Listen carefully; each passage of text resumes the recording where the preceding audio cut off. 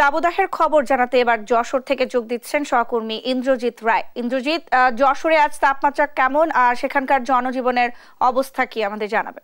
Nancy, আসলে যশোরের উপর দিয়ে কিন্তু টানা তিন সপ্তাহের বেশি সময় ধরেই তীব্র তাপ প্রবাহ বয়ে যাচ্ছে এবং এই তীব্র তাপ প্রবাহের কারণে কিন্তু যশোরের জনজীবন এক প্রকার বিপর্যস্ত হয়ে উঠেছে। অর্থাৎ যারা এই গরমের মধ্যে, বিশেষ করে শ্রমজীবী মানুষ তাদের কাজের সন্ধানে ঘরের বাইরে বের হতে হচ্ছেন এবং এই ভোগান্তির মধ্য দিয়ে তাদেরকে জীবনযাপন করতে হচ্ছে। বিশেষ করে এখন কিন্তু বড় আবাদ চলছে। বড় আবাদের অর্থাৎ শেষ মৌসুম মৌসুমের শেষ পর্যায়ে যে ফসল ঘরে তোলার জন্য কৃষকরা ব্যস্ত সময় পার করছেন, এই কৃষকদের কিন্তু এই গরমের মধ্যে তীব্র গরমের মধ্যে ব্যাপক কষ্ট করেই তাদের সেই ফসল ঘরে তুলতে হচ্ছে।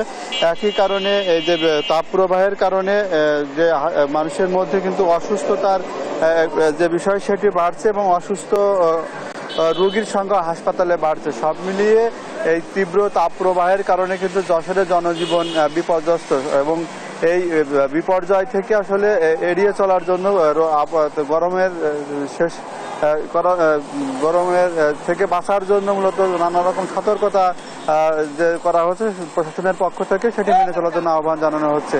তো এই ছিল আমার কাছে যশোর থেকে সর্বশেষ। ইন্দ্রজিৎ, আপনাকে ধন্যবাদ। দর্শক, যশোর থেকে আমাদের সঙ্গে যুক্ত ছিলেন সহকর্মী ইন্দ্রজিৎ রায়।